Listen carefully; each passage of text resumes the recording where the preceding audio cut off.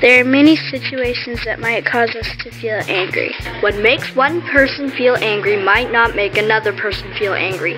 When we feel angry, it is important to think about why we are feeling that way and what choices we have for expressing that anger in healthy ways.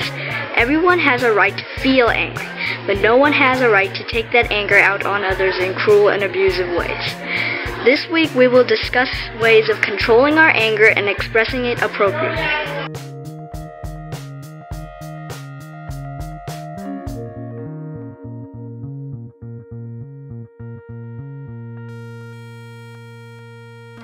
Sometimes, even when we give it our best effort, we are still unable to agree on a solution to a conflict. One of us might not be interested in solving the problem. One of us might bring problems from the past into the current discussion.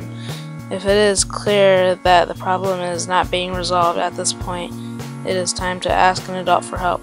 This is not tattling when the intention is to resolve the problem. We want a solution where everyone feels good about the outcome.